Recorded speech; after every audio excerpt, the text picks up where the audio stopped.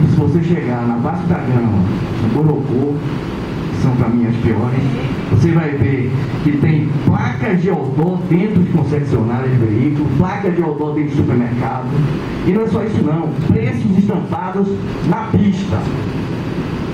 Então eu queria dizer o seguinte, muito mais importante do que o outdoor, porque para mim é uma referência, está muito bem posicionado, muito bem organizado, é a limpeza da cidade na questão da ilegalidade das empresas que eh, se utilizam, eh, vamos dizer assim, da, de, de, da facilidade para colocar eh, suas placas no seu estabelecimento sem o devido conhecimento e sem a devida autorização da SUCUM.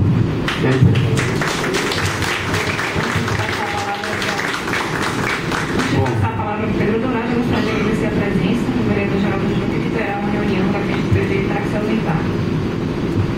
Queria sugerir aqui, inclusive, a participação do Geraldo Júnior nessa comissão que está colocando, é, está aqui na mesa e eu queria fazer esse pedido, lógico, tem que passar por protocolo aí, mas eu queria fazer essa sugestão.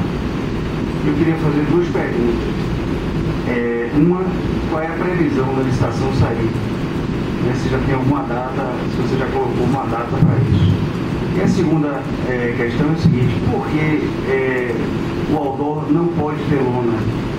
Porque é, hoje, você no exterior, assim, na maior parte do, do, do mundo, você vê uma evolução na aplicação da mídia.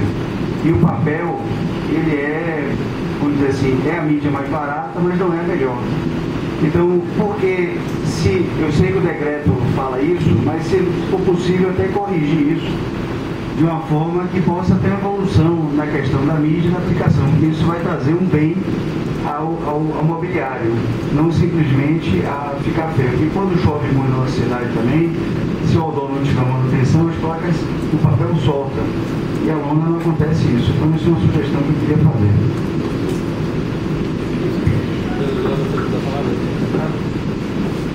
Gostaria mais uma vez de agradecer e reiterar a disposição da Câmara nesse projeto, né? parabenizar mais uma vez não só você, Cláudio Silva, mas toda a sua equipe né? por essa iniciativa e tenho a certeza, recebo mais uma vez aí a missão honrosa da Casa Civil para que a gente possa dar uma empreitada e fazer a interlocução do poder público para com os senhores empresários.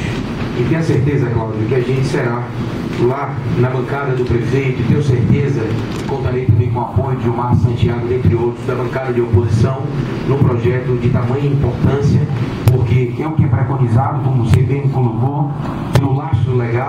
e parabenizar você que faz, e eu costumo titular isso, faz parte do núcleo duro do prefeito João Henrique, da sua determinação de estabelecer com muita coragem um TAC, um termo de ajuste de compromisso com o Ministério Público Estadual. Parabéns, fiquem todos aí.